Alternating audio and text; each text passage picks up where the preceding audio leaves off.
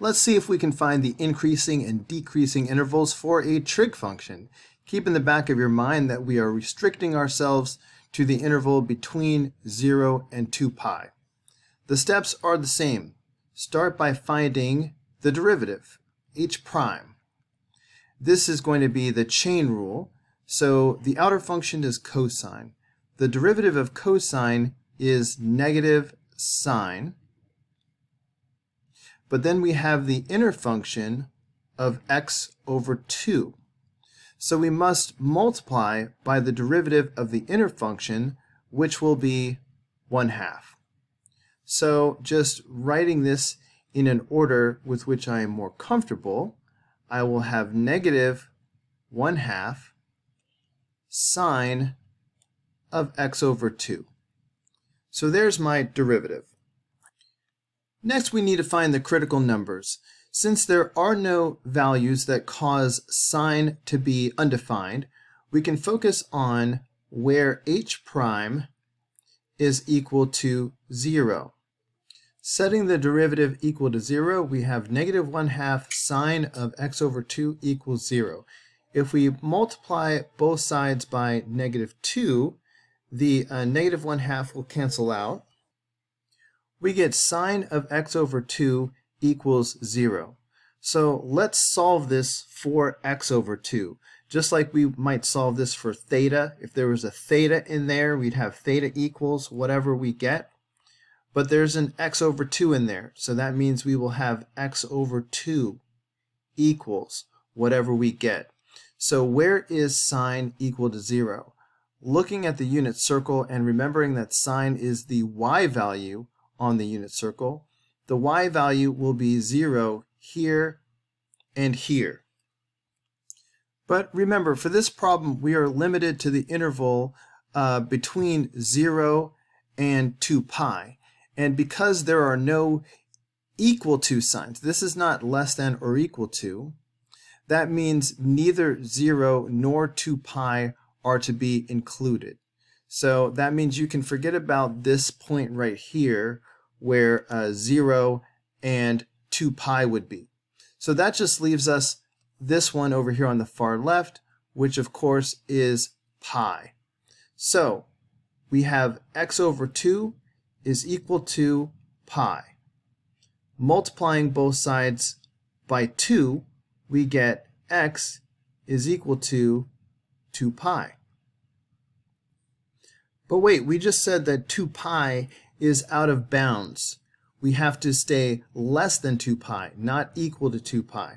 That means there are actually no critical numbers uh, between 0 and 2 pi.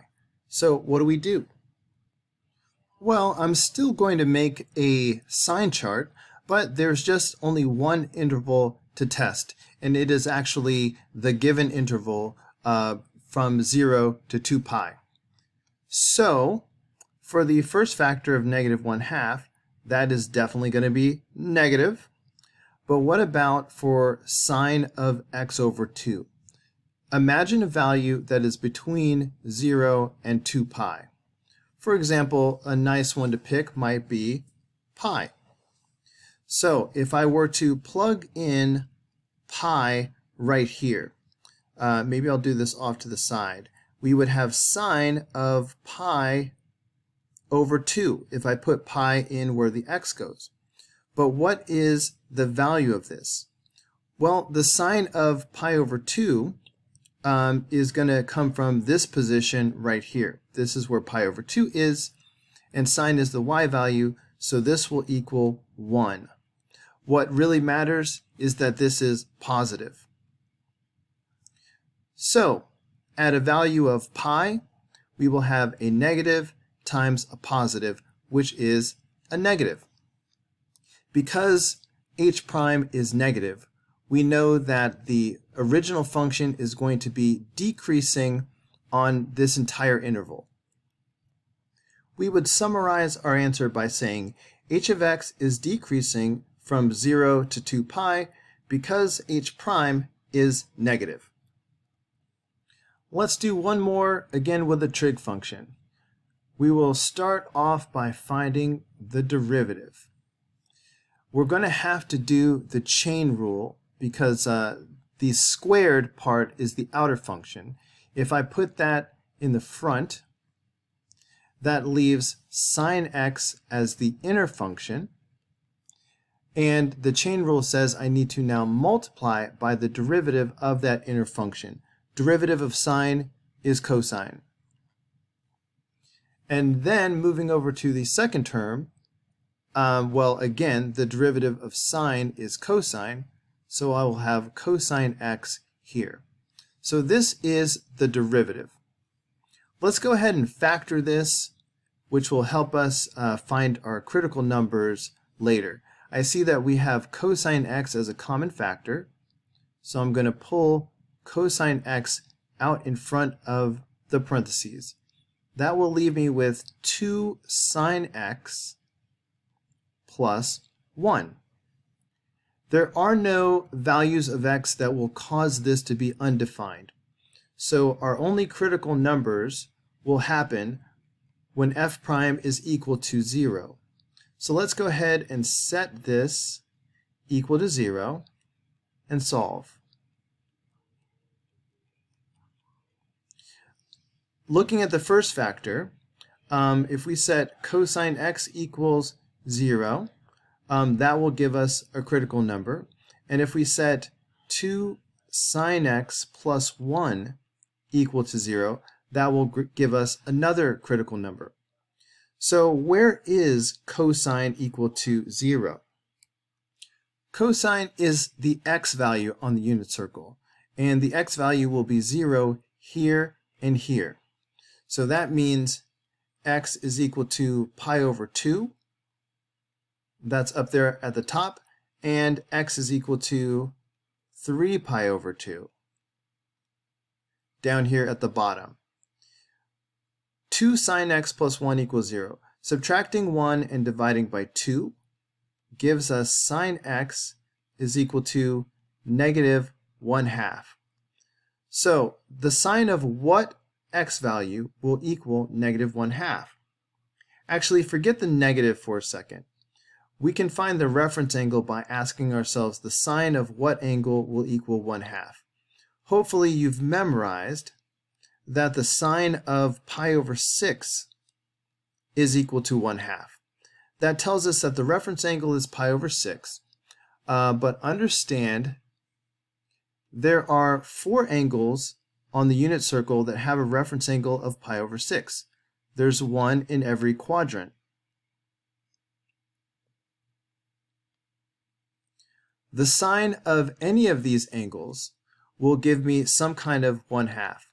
It's just that two of them will give me positive 1 half and two of them will give me negative 1 half. So in which quadrants will the sine function be negative? Sine is a y value, so it's going to be negative in the third quadrant and the fourth quadrant. So these are the two solutions um, reference angle of pi over 6. Um, over here on the left, this pi is, is like 6 pi over 6, so I will think of this as 7 pi over 6. Uh, all the way back around, this would be 12 pi over 6, so I know this is 11 pi over 6. So those are my two solutions here. x equals 7 pi over 6, x equals 11 pi over 6. So we have four critical numbers here, here, here, and here. So here are my four critical numbers in order on the number line, all ready for me to make the sign chart. Since we are only considering the overall interval from 0 to 2 pi, I will go ahead and uh, put 0 at the very beginning and 2 pi at the very end. I'm going to need two rows, one row for each factor of my derivative. Let's start with the factor of cosine x. Let's find the sign of cosine x in each of these little intervals.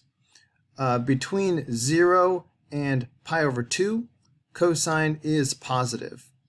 In the back of our minds, we are remembering that cosine is the x value. So to the right of the y-axis, it's going to be positive. But then as we cross past pi over 2, um, cosine is going to be negative over here on the left. So between pi over 2 and 7 pi over 6, cosine will be negative. Um, between 7 pi over 6 and 3 pi over 2, we are still on the left-hand side. So x values are still negative.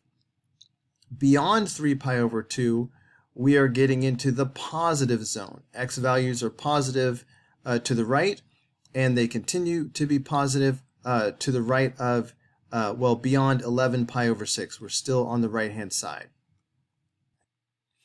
I'm going to take a little bit of a shortcut on the 2 sine x plus 1 factor because I don't feel like checking each one of these five intervals on this expression. Remember that we set 2 sine x plus 1 equal to 0 and we got the 7 pi over 6 and 11 pi over 6.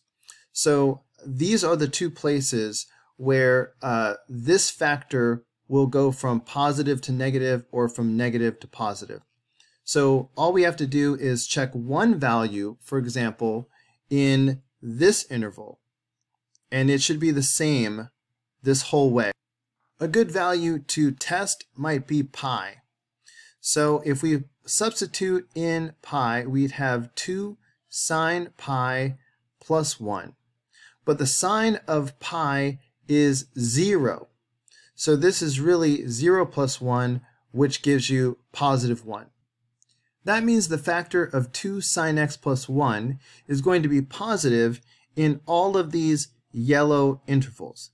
That includes the interval from 0 to pi over 2, so that's going to be positive.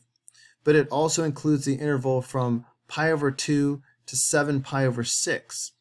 So that's going to be positive. All right, and then here at the end, between 11 pi over 6 and 2 pi, that's in there.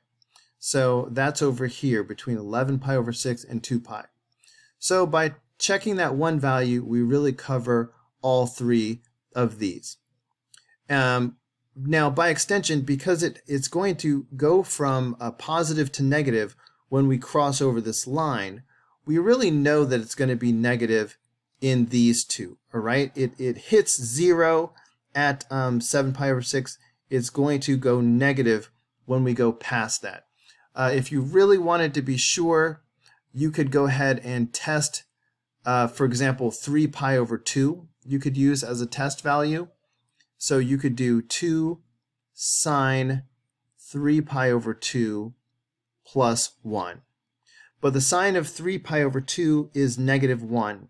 So this would be 2 times negative 1 plus 1, which would be negative 2 plus 1, which would be negative.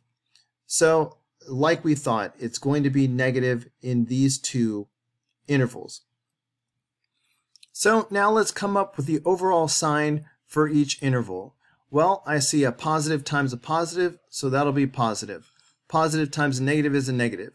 A negative times a negative is a positive. Positive times a negative is a negative, and a positive times a positive is a positive. We know that the original function will be increasing when the derivative is positive. So it'll be increasing in this interval in this interval and in this interval. The original function will be decreasing when the derivative is negative. So it will be decreasing in this interval and this interval. Let's go ahead and summarize our final answer. So here we go. f of x is increasing from 0 to pi over 2 and 7 pi over 6 to 3 pi over 2 and 11 pi over 6 to 2 pi because f prime is positive. Also, f of x is decreasing from pi over 2 to 7 pi over 6, and from 3 pi over 2 to 11 pi over 6 because f prime is negative.